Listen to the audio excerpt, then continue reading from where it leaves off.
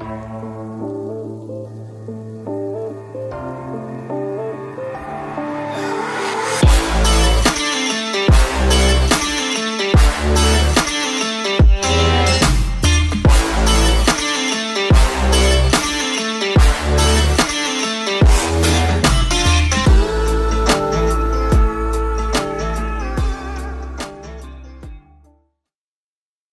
will introduce you Jason Covington.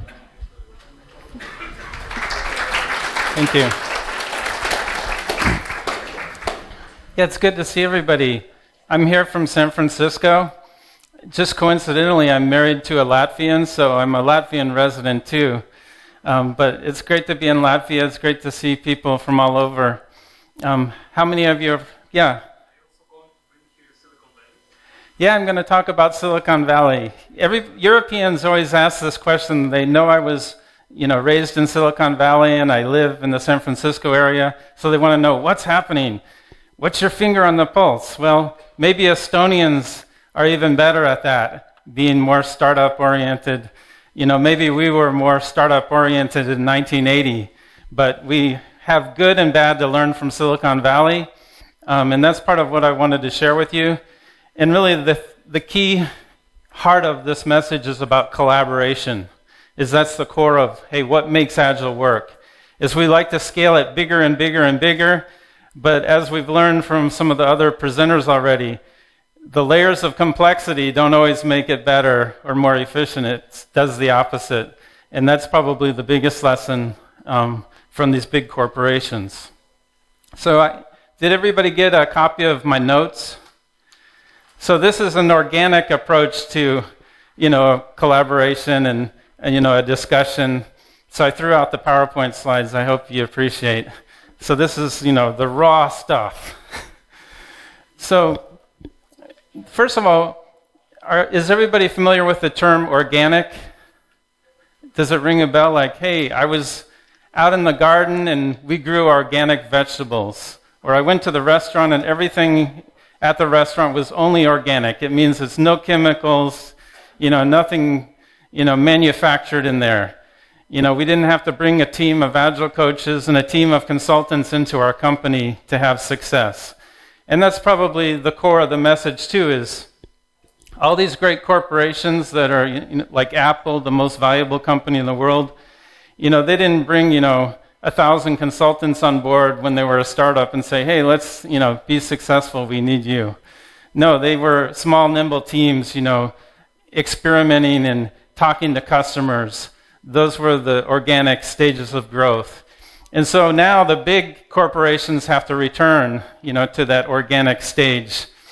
So this morning I was in Lielvārde and my mother-in-law was out in the garden. You know, she went out in the garden, brought the cucumber, handed it to me. She went out in the garden and got the tomato. You know, I'm a true Latvian. I had my cucumbers and tomatoes for breakfast. That's organic, you know, when you've, you've actually grown those things yourself. So the same is true with um, any organization, big or small. Hey, are you leading this movement yourself to become more agile, to be Scrum? Or are you, you know, depending on outside people to tell you, you know, some story? So it's always more successful if we can start, you know, ourselves, picking the fruit and deciding what's going to work for us with a customized approach. Um, so, first big question How many Apple users do we have here that use some Apple devices? Okay, great. Lots of fans, right? In, in 1977, you know, they just were in their garage, you know, working on stuff, seeing what works, what doesn't you know, and talking to users, getting out in the field. And, you know, they were always focused on the best user experience, on quality. You know, that's, I think, what separated them from other computer manufacturers in those early days is they set this really high standard for user experience. It's exacting. So that may be one of the first pieces of like, hey, what makes us separate from other startups? You know, how now, as a big corporation or a medium sized company, can we separate ourselves? So it has to have that built in quality, the exacting standards, the good user experience. We go out there in the field, we talk to the users. You know, we know who our users are. It's not just some fanciful idea we have for a product. What else do you think separates Apple Computer from others? Why do you use Apple products? Would anyone volunteer to share? Yeah.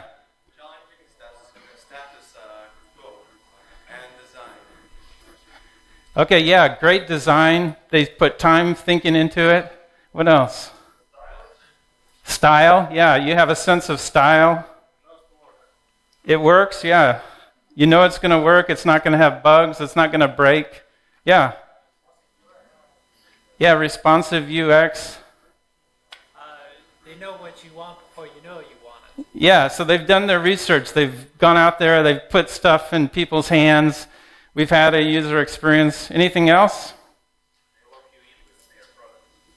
Okay, yeah, so we are generation after generation of still using their products now three, four, five, six generations of products, and we're hooked.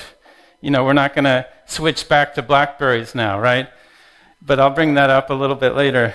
So, and they've stayed nimble. You know, they've stayed keeping it in small teams. They've made lots of mistakes, though, too. Remember the Apple Newton? It was, you know, a handwriting recognition device, a handheld mobile device. Nobody wanted that. They didn't really do their research on that one. John Sculley was, you know, kind of out in left field when he said we got to go for that. So they've made their mistakes, but you know they've had their own lessons, and that's what we have to do: learn from the mistakes we make and quickly, you know, be adaptive. And those are the three pillars of Scrum: you know, inspect, adapt, and transparency. It's like, hey, we threw out that Newton. They almost crashed the entire company. They were just this close from dissolving after that Newton. But then, you know, Steve Jobs came back, and then they just were like, okay, iTunes, you know, iPod, iPhone, and the rest is history. So we can all be, you know, an example or a case of a startup, you know, in our garage, in our company where we are now. And I think that's where the whole lean startup movement has been happening is we can still be this big corporation or a medium-sized company here in Latvia and still think, hey, let's get back to the roots of what being agile is, what collaborating is. So how many Facebook users do we have here? Okay, me too. Um, what's good about Facebook? so do you want to share the microphone so we can hear some of those? I didn't hear. What, what, what is, why do you use Facebook? Messenger. Yeah, Messenger is really quick and easy to use. Anything else? Everyone there, so it's easy. Yeah, it's, it's, great. it's great. It's interconnected the entire world. A billion users now. Somebody from here? Anybody else? I use it for time killing, you know. Like. Okay, yeah, it's a time waster. Yeah. but we need some of that, right? It's like an escape. You know, I, you used to do video games maybe when you were a teenager, but you know, now as adults we go in there and like, you know, just waste time for a few minutes, right? Just to get your mind off of other things. What other um, things about Facebook do you think are value provided?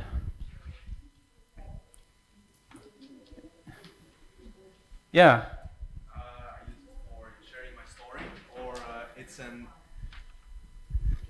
and uh, right now it's a cheap way to market your product and you know marketing wise Yeah, so that's great. Yeah, that's a great example.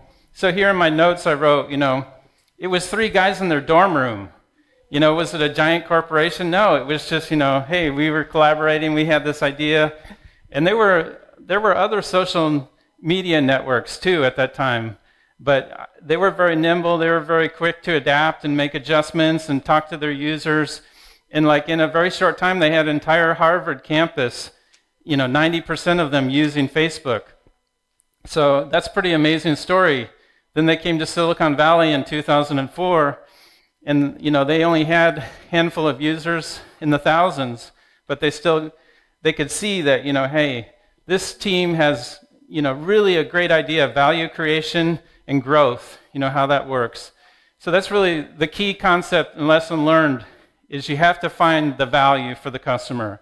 If you can identify that value, then and you see some growth potential, that's where the products are going to be successful in your company and in others. So, how many people have heard of the BlackBerry? And how many people were using it at one point in time, maybe 10 years ago? Anyone? I never did, no. Okay, it was never, in, in Latvia, there was low usage of mobile and wireless devices in the early 90s. Is that true? It was never brought here very much, okay. Well, in the US, it was really the entry point into the mobile and wireless world where it actually was tested and proven that, hey, this is a mobile device that actually has useful application. Um, so in the 90s, I worked at Mobile Village, and we were kind of a market development company, you know, talking to all the different developers and talking to the different marketing companies for product ideas. And you know, they had the Apple Newton, they had all these other devices that did all this crazy stuff, like, you know, that was not useful. Um, and really, BlackBerry was the first device that, hey, it made sense to sell this to the enterprise. You know, that the corporations would use it, they could have secure email, and it actually worked. It was actually the first device that they spent time with their users. We did market research for them. We went out in the field and had, you know, forums and we had interactions with actual customers and found out, hey, this is going to work. It's, so that was really the entry point. And really what separated them from the others is they said, hey, what, what makes sense? What provides value? Hand rec- handwriting recognition obviously provided no value to anyone at that time, so Apple failed on that idea. Um, BlackBerry was successful because they did more market research. They, they knew what the users wanted. They had a user experience that made sense at that time for businesses. So they dominated the market for a good chunk of time. Um, so those were some, you know, successes, some failures, and some lessons learned. And we can borrow from those things, you know, from Silicon Valley and how we approach things now. Um, recently, I had the opportunity to go work for Cisco. And Cisco has 85,000 employees, and they probably, you've used dozens of their products without even knowing. You know, all networking products, it's, it's a domination of the market of, you know, any enterprise um, type of devices, networking. So you would think a corporation like Cisco that's been around for a long time, right in the heart of Silicon Valley, they would have everything all together and agile. And most of them, most organizations in Silicon Valley are very mature as far as an agile or scrum perspective, and they do have, you know, a very solid approach and a process. Um, but for some reason, there was a big group that had never had agile transformation and we started to see, you know, hey, they're complacent, they're apathetic. They don't even come to work anymore because they have this entitlement mentality. How many people are seeing that, those types of things here in Latvia and in the Nordic states? You know, complacency or apathy. Anyone? Or developer entitlement mentality. How many developers do we have today? Raise your hand. Only eight of them? Wow. How many of you are like such rock stars that you feel like, hey, I don't have to go to work anymore. I can just work from home, just send an email once in a while. I don't even have to show up to my scrum ceremonies. I'm better than that. I, have seen that you know attitude. Not most of us are not like that, obviously, um, but you know we start to grow and our get into our comfort zone. I think is what it is and you know we get happy or comfortable where we are and we're not working on this continuous improvement process. And that's really what i saw at cisco is the teams didn't come to work. They were some of them are even hardware teams. I'm like how can you you know work from home on hardware systems? Right? But um, that was the case. So the first day i said the, the leader of the organization said what do you need to help this team be successful this organization have a transformation I don't know anything about this agile stuff, he said. I'm like, well, first of all, the first day here, I didn't see anyone here. I saw just a handful of people. Where did they where are they? Oh, these guys work from home. Oh, these guys are away doing something. Okay, when do you ever meet face to face? Oh, we never do.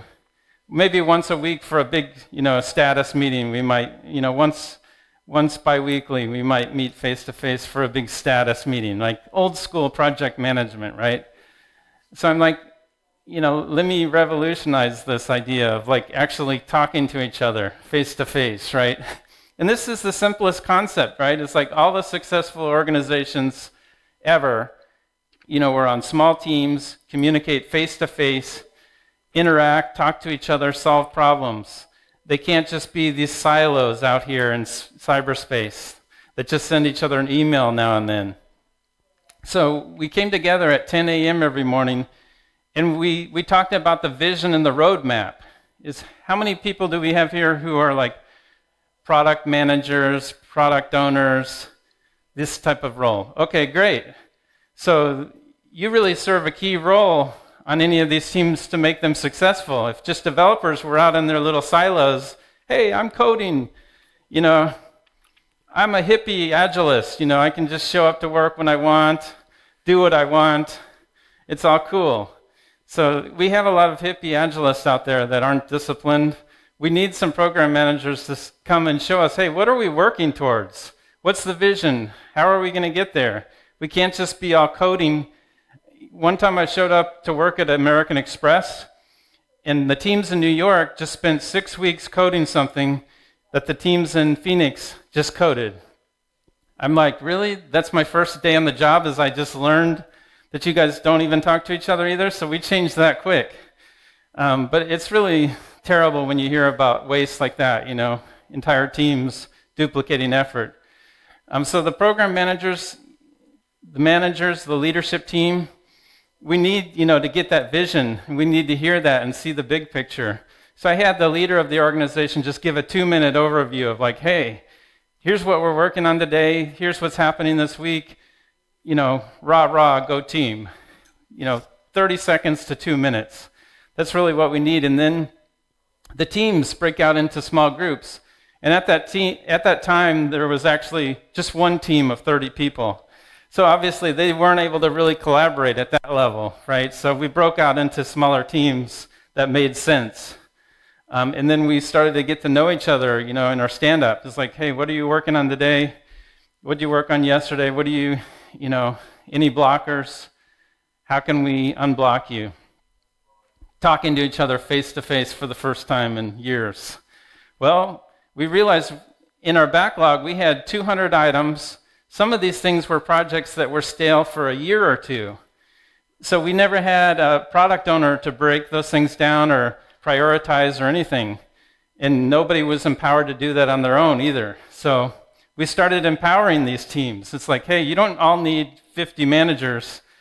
You are self empowered to make some of these decisions yourself. Hey, if this is so stale that you don't even know what it is anymore, it was the generation before you, you can delete some of those tasks out of Jira. So we went from like a couple hundred tasks down to stuff that's work in progress of like eight things. And I think that's the key is like getting down to something that's workable. It's like on a small team is like, hey, we can work on 10 stories this week or 10 tasks, something that's doable. And then it's not just, you know, hey, I'm working on 200 projects. I'm getting nothing done. I, you know, have task switching negative 20% for each you know, product I'm working on, so I get zero productivity, right? and that's about the truth of some how we've gotten so big that we don't even have any efficiency or productivity at all in some of these bigger organizations. So in a very short time, you know, they say it takes 21 days to break some old habits. Literally, it was less than that with this group. It was like 10, 12 days we were, you know, meeting face to face. We were having scrum ceremonies. We were doing retrospectives and changing the things that were broken.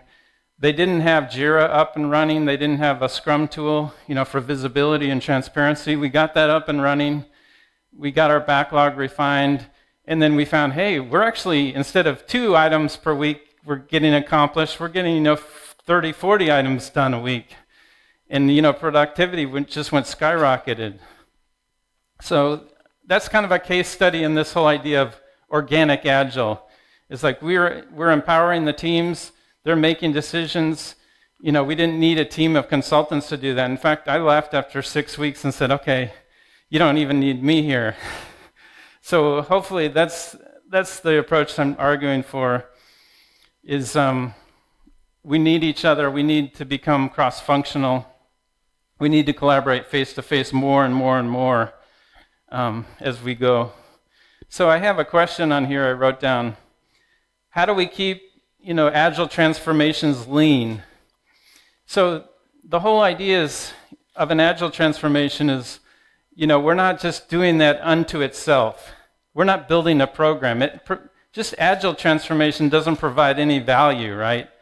the whole goal is to build a better product or a better customer experience or you know to sell more widgets um, so we're trying to you know build business value as our goal um, so how can we you know stay nimble and lean and make that happen without investing a lot of money into agile transformations and coaches and consultants and say hey we have $10 million you know we want to get our $11 million so we can say we got a return out of this and make this as big as possible. Why do we think like that? That doesn't make any sense. Let's think nimble and small, like the people that are already in the organization. Let's empower them to be the agile champions and encourage them, you know, to rise up as agile leaders. And so that's really, I think, where I've had the most success.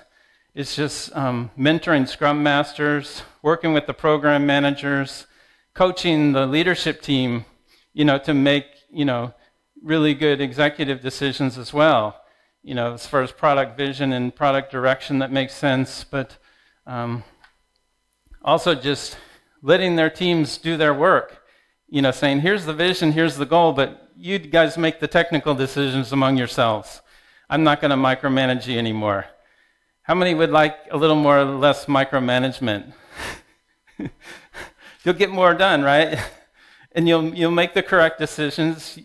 Everybody, you know, I think in your organization has the heart to do right or to be successful because it's in our benefit too, right? So we have to build on that trust. That's one of the key components of Scrum is that we're, you know, putting trust in our team members.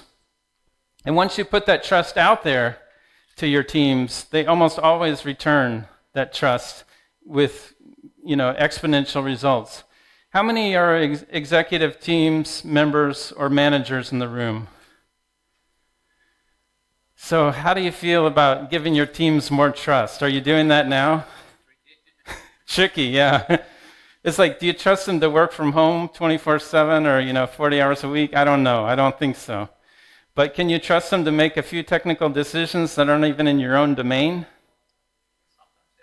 Usually, yeah. You, you go with the key things that affect the whole organization. Yeah, we need leadership to make a decision and quick, right? So we're not making 50 decisions and they're all conflicting against each other. So we need you on those major decisions, but on the detailed decisions, we want, you know, the team members to make that. What other experience do we have from the leaders that were raising their hand over here? How are you doing in, on trust in your organization? Anybody else? I saw hands of a few more leaders or managers. Okay, no volunteers on that one? Okay. so, yeah, we can build this scaling. So, the theme of this conference is scaling. And so, we get a bunch of Scrum teams, you know, lined up, and they're all doing great. Hey, we're going to scale this thing now across the entire organization. But one of the problems with scaling is, like we say, we add another framework on top of all these other frameworks that we've already developed. What happens? We've added another layer of complexity. So there's dangers in not taking an organic approach to scaling. So, really, what I've seen with scaling is let the team members who know what they're doing and the leadership team that you're working together, you're collaborating, decide, hey, what's going to work for us? You know, take a version of scaling that's going to work for your specific organization, not based on, you know, SAFe, LeSS, more, whatever, all these different frameworks, Nexus. You know, work together on, hey, this will work for us and why. A lot of you have regulatory concerns, you know, in pharmacy, in oil and gas, in all these other regulated industries, you have other things that are of concern. How many of you work in validated or regulated industries? Okay, so you have to consider these factors that are unique to your organization when you scale. You can't just, you know, throw another framework on top and say, "Hey, this works." You have to customize it anyway. So it's better for you to be doing that yourselves as agile champions within your own organization rather than hiring, you know, 50 guys from out of town to say, "Hey, yeah, you need this SAFe stuff," or "Hey, you need, you know, 15 less consultants here to tell you how to do it." Um, so, really, as far as staying lean and organic, my bullet points here the key is really this nimble, intense collaboration. Even more, wherever we are now, like take that a few levels further, you know, create an agile workspace. How many of you have kind of an open, agile workspace now at your organization? So, how is that working for you? And what does it look like? What is an agile workspace? Do we have a microphone to share?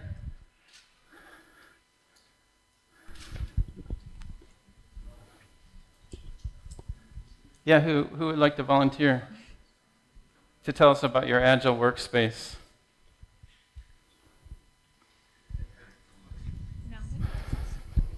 So yeah, we have like uh, 18 uh, developers in our team, and they can decide pretty much everything. It's agile or even anarchistic, I, I could say. It works out uh, fine. Like uh, we got uh, really good productivity. Yeah. But as the organization grows, then we need to add some complexity. Yeah, that's good to hear. So I think some of the problem is if you're still siloed in your own individual cubes across, you know, multiple floors or multiple countries, you're still divided in some ways. So the nice thing about the agile workspace is you're all right on the same area. You can talk to each other face to face. You're not, you know, you don't have to walk to another building or get on Skype to talk to people. And the alternative to that is you have video collaboration. So there are many distributed teams, and the, the solution to distributed teams is having intense video collaboration. How many of you have distributed teams? And how does that work? A lot here, yeah. How many of you are having success with video collaboration? You, are people just lazy and not using it, or what's the problem?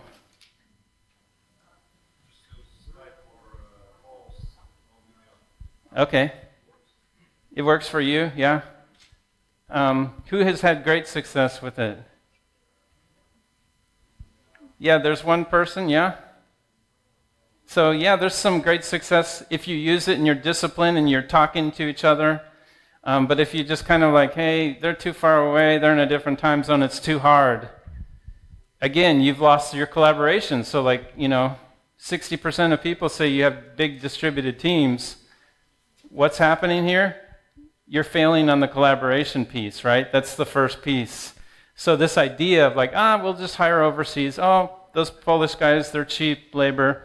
Those guys in India, yeah, just send it all over there. So now we're, Silicon Valley is paying the price. So, lessons learned from Silicon Valley send all your stuff to India. You're going to get lower quality back, less collaboration. They don't even know what the vision is. They don't have no idea this roadmap to get to the vision either.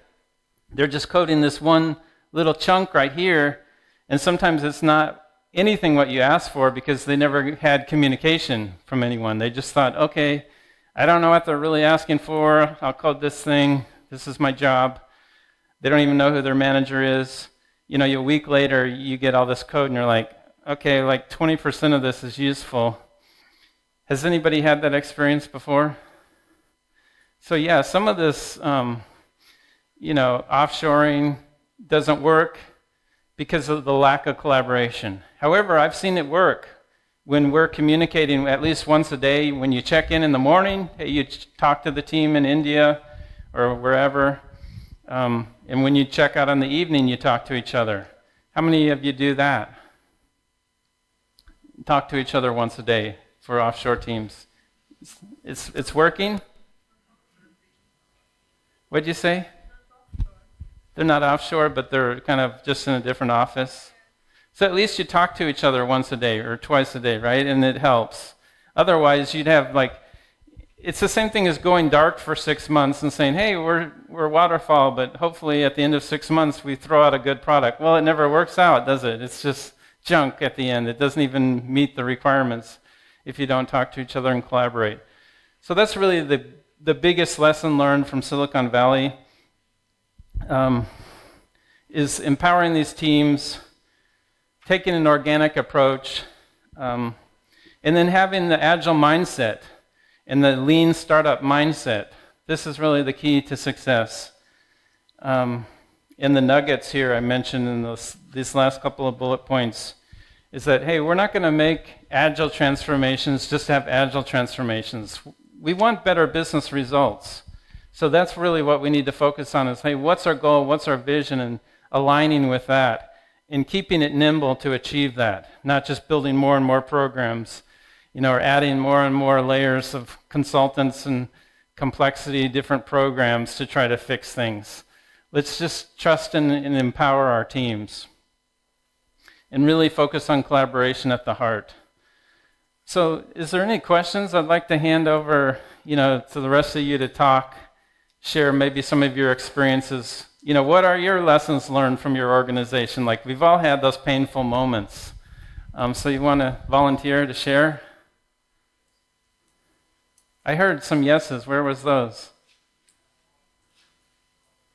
Can you raise your hand, please? to share some painful experiences and what you learned from that? Especially on collaboration.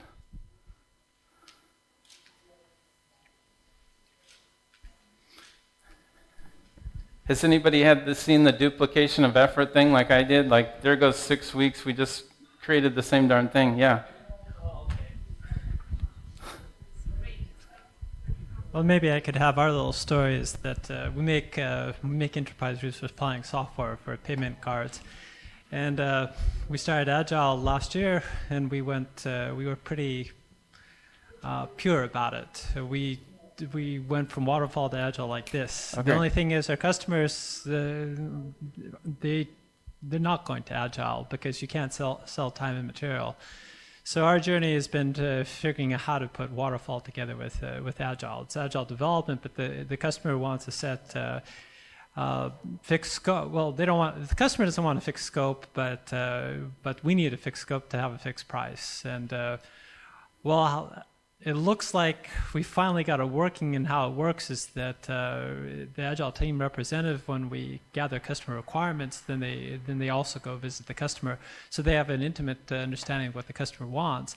And uh, what's positive about agile compared to waterfall is we have a two week uh, sprint cycle. So in the past uh, in the in the waterfall world you'd have to wait like two to three months to see what was made. Well every two weeks you can see what's going on. So uh, the, I see that the transparency is really is really helping, and also also another thing to add is also the agile, the lead agile team member. Then she also goes visits the customer once a month, and we we make sure that. Uh, uh, we can agree to the priorities of the project right away. So this is how we've been able to marry the waterfall together with agile. Okay, great. Would anybody else like to share? So, what are the greatest successes you've seen by improved collaboration? The opposite of that question. Like, especially the people who have like a agile workspace now and are facing each other and talking to each other. How's, how have you seen improvements?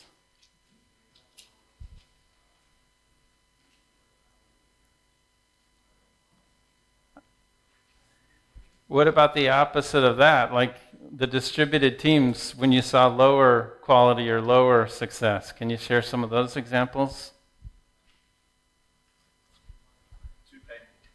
Come on, yeah. Give him the mic, let him share. Yeah, just share a couple of anecdotes. Well, one organization I work with had six teams spread across five different countries, and it was three years, and the code base rotted and I'm not sure if they're still alive actually. but it was missing all of the all of the uh, collaboration mechanisms and no control, no structure, anything. But it was quote scaled agile unquote. Yeah, Right. exactly. So they lack the vision, they lack the roadmap on how are we getting there in the alignment piece. Oh yeah, yeah, but there was tons of stuff to do, so we all have to stay super busy. Yeah, so busy work doesn't mean value. So I think that's really one of the biggest lessons learned. Is like, hey, you can have you know a thousand developers working hundred hours a week, you know, producing all kinds, millions of lines of code, and even having good quality. But if you don't have alignment or knowledge of, hey, what is this going towards? Some kind of business value, you know, and a potential growth of that product you haven't done your research, you don't have a customer base, you're not sure that this is even what they want. Like you're missing the product owner who's helping the team make these decisions and really has his finger to the pulse of the users, then it's all for naught. So that's probably the biggest lesson learned with, with every industry. Does anyone else have any lessons like that to share?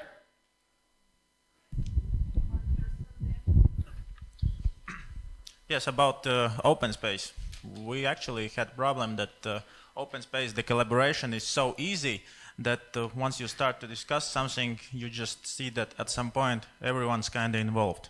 so everyone is jumping into discussion. So for us, uh, we decided that it is mandatory to have some other place for discussion. Otherwise, it's like uh, always brainstorming. And sometimes you need a professional facilitator, like a scrum master, a coach, or someone to come in for a few hours and kind of, you know, as a third party, facilitate some of that. Otherwise, sometimes there's too much infighting, or, you know, you're throwing out too many ideas and nobody's, you know, filtered through them. So you need a good product owner who can say, oh, this is a good idea, this is not. You need that transparency do you find it like a politically correct culture where you're, oh, you can't say that's not going to work, or is that part of it? Not really. Well, everyone can uh, their ideas, but the problem is really that, for example, there is like a clear problem that we need to discuss, and there's like uh, on open space, there's developer just sitting doing the thing, or designer, or anyone just listening. Okay, okay. Hey guys, I gotta say something, and then from another space, okay, but I also have an idea. And then it's like going on and on and on and on. So maybe it's yes, it's facilitation. Okay. I saw another volunteer over here. Can you raise your hand again, please? You're going to share an anecdote. Don't hide. I saw your hand earlier. You forgot what you were going to say? Okay, who else wants to um, share the anecdote or example?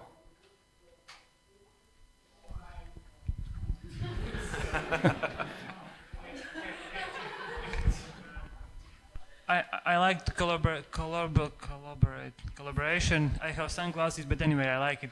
Uh, but sometimes I feel that uh, when I'm talking, I'm a developer. Sometimes I talk uh, only tech thing stuff, and I feel like I'm a, I'm a robot. But uh, I'm a coder. I'm human, and uh, I want to say that uh, sometimes better not talk only technical stuff because after meeting you you you feel you can get more if you talk non non technical stuff. Thanks. Okay. Any other volunteers? Yeah, okay, there. When we, well, not we, but uh, when people used to send letters to each other, they were really like worked out. Uh, every word was thought over, and uh, they were very valuable. But uh, now, for example, with Facebook, uh, we were just sending some kind of random things du- during the session as well, right? And uh, I think we are running in a risk that in the future, when we will have those really like uh, when everything will be so collaborative uh, that we will probably run into the same problems. Like the quality might drop a little, and we have to think how to manage that. Okay. Because the collaboration will be basically all we will do. Yeah, so that's a good point. I think um, teams that have been with each other for a long period of time, hopefully they understand each other and they can read each other's minds a- little better. They know a lot of things already. They don't have to ask so many questions. So they're probably more efficient over time, more productive over time. But I think we've changed. You know, we're in this complex environment where we're changing all the time, so we have to spend time together to, to understand and to communicate. Um, but you're right. Sometimes we're really sloppy with our communications. I, I was a tech writer for many years and had to be the guy helping sort out all this requirements nonsense. So, but now a lot of in agile world, a lot of the requirements are conversations. So yeah, you can definitely lose a lot in those conversations. Hey, so some kind of tool like Jira where you're documenting the acceptance criteria, where you have a place to just put it in there and keep track of it. But you see a lot of developers getting sloppy in their acceptance criteria. That hey, just, just throw that story out there. You know, sometimes it gets lost. So you, you're really good. That good documentation, even in Jira, as a quick acceptance criteria, is, is important for longevity and for communication. Any questions that anyone wants to ask of the group or share? Anything else?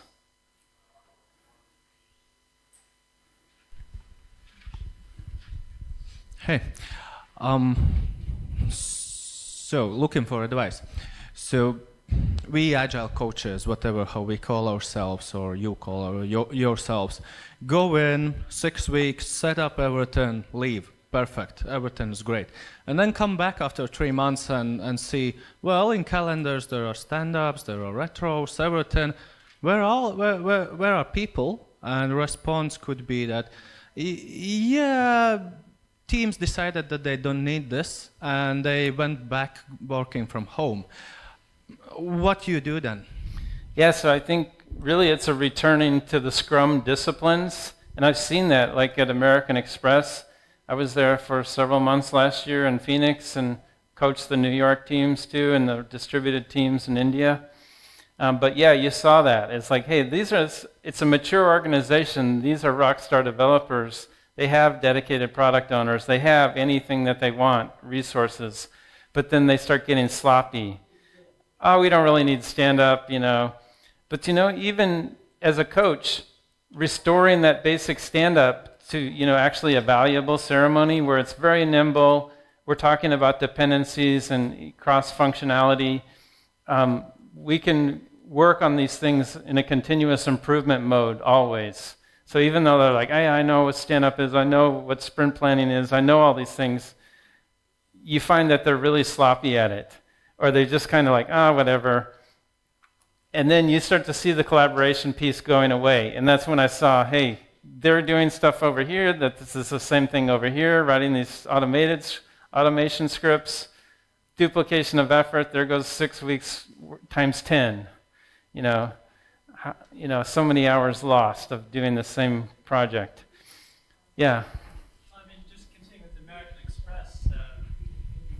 Uh, I guess a question about the American Express. I, I, know it's a large organization, but do they do they have a common backlog now? Because I would imagine in an organization that that large, there should still be one product owner with business at least business epics, so that you don't you don't have New York and Phoenix making the same thing. I mean, how do they make sure that they don't have a duplication of effort?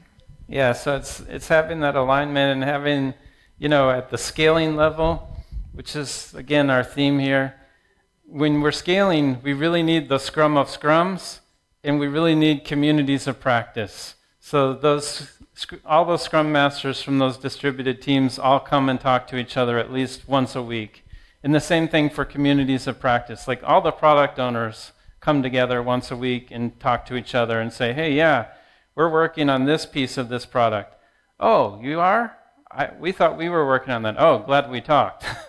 you know, so as long as those communities of practice are well organized and we have scrum of scrums and, you know, we escalate stuff up to, you know, the broader team leaders um, as scrum masters, then most of those, those communications problems are solved. Any other questions?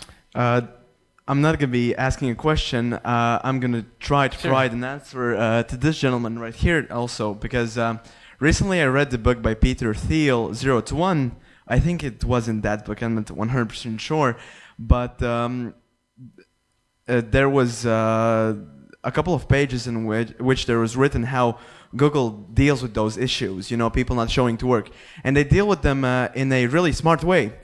They uh, provide free breakfast and lunch for their employees. Yes. So also the breakfast breakfast is uh, high quality. So I mean, if I would be an employee, uh, I would take the free breakfast and I would show up, show up to work.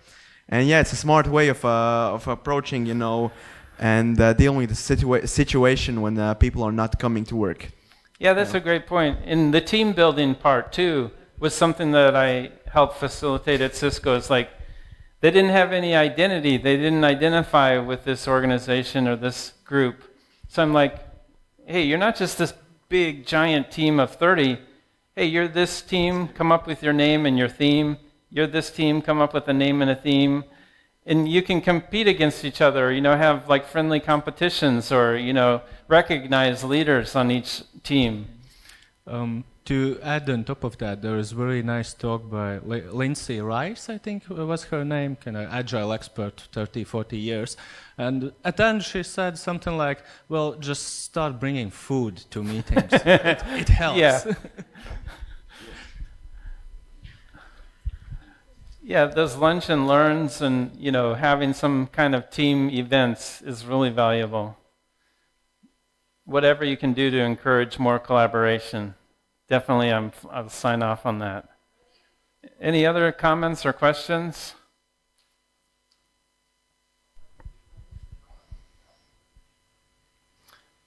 Does anybody see any of the little nuggets I threw at you that you can take back to you to the office? and say, hey, we ought to start collaborating again. Original idea, right? Hey, this big idea of scaling, adding two more levels of frameworks, and hiring 30 more program managers, maybe we should rethink that, right? if those are the only two nuggets you take with you, I think it'll keep you nimble and, and more agile and have more long term success. Thanks a lot, everyone. Thank you.